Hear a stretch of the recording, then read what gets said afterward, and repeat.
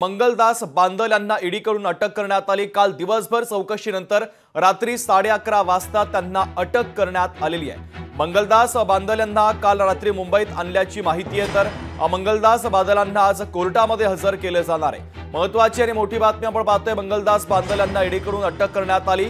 काल दिवसभर चौकशीनंतर त्यांना साडे अकरा वाजता ताब्यात घेण्यात आलेलं आहे. आता जी सगळ्यात महत्वाची आणि मोठी बातमी आपण पाहतोय या आधी देखील ईडीनं त्यांच्या घरावर आणि मालमत्तेवर छापेमारी केलेली होती कारवाई केलेली होती आणि आता मात्र मंगलदास बांदल यांना ईडीकडून अटक करण्यात आली.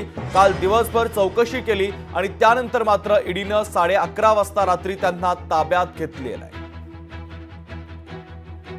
तर एका मोठ्या कारवाईच्या संदर्भातली बातमी आपण पाहतोय. मंगलदास बांदलांना काल रात्री मुंबईत आणल्याची माहिती समोर आली आहे. तर मंगलदास बांदल यांना आज कोर्टामध्ये देखील हजर केलं जाणार आहे. ईडीकडून त्यांच्या मालमत्तांवर छापेमारी करण्यात आली. त्यानंतर त्यांची काल दिवसभर चौकशी झाली आणि चौकशीनंतर रात्री साडे अकरा वाजता ईडीनं त्यांना ताब्यात घेतलेलं आहे.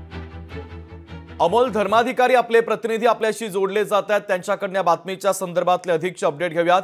अमोल मंगलदास बांदल यांच्यावर ईडीनं कारवाई केली आहे. काल दिवसभर चौकशीनंतर रात्री साडे अकरा गैरव्यवहार प्रकरणी मंगलदास बादल यांच्यावरती ही कारवाई करण्यात आलेली आहे. काल पहाटेच ईडीचं पथक आहे ते मंगलदास बादन यांचं जे शिक्रापूर येथे पाबळगावी जे त्यांचं घर आहे या ठिकाणी जाऊन त्यांनी धाड टाकलेली होती आणि दिवसभर ईडीच्या अधिकाऱ्यांकडून सर्च ऑपरेशन आहे ते सुद्धा सुरू होतं. या कारवाई दरम्यान स्वतः मंगलदास बादल आणि त्यांचं कुटुंब ते सुद्धा उपस्थित होतं आणि चौकशी अंती रात्री उशिरा त्यांना ताब्यात ईडीने घेतल्यानंतर साडे अकरा वाजता त्यांना अटक करण्यात आलेली आहे. आज त्यांना मुंबईमध्ये घेऊन गेलेले आहेत अधिकारी आणि दुपारनंतर साधारण त्यांना कोर्टात दाखल केलं जाणार आहे आणि जो काही गैरव्यवहार झालेला आहे त्याच्यामध्ये मंगलदास बादल यांचा कशा पद्धतीने सहभाग आहे आणि त्यांनी गैरव्यवहार केलेला आहे हे आता ईडीला सांगावं लागणार आहे. पण मंगलदास बादल हे जर नाव आपण पाहिलं तर राजकीय व्यक्ती आहेत. अजित पवार यांचे निकटवर्ती असं सुद्धा ते मानले जातात. मात्र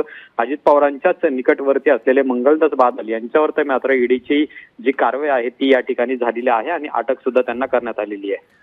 अगदी अमोल आज कोर्टामध्ये त्यांना हजर केलं जाण्याची देखील शक्यता आहे. त्या संदर्भातले नेमके अपडेट काय? साधारण दुपारी त्यांना मुंबई कोर्टामध्ये म्हणजे पीएमएलए कोर्टामध्ये त्यांना हजर केलं जाईल. आणि जो काही सगळा गैरव्यवहार झालेला आहे या संबंधीची माहिती आहे.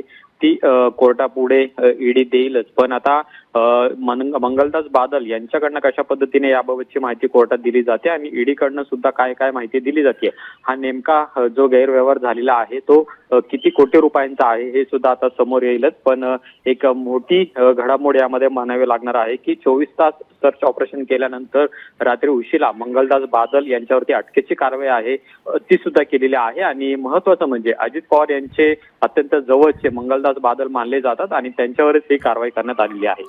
अगदी अमोल महत्त्वाचे अपडेट या बातमीच्या संदर्भात ते पोहोचवलेले आहेत. तुर्तास धन्यवाद. लोकशाही मराठी. ऐका पहा जागरूक रहा.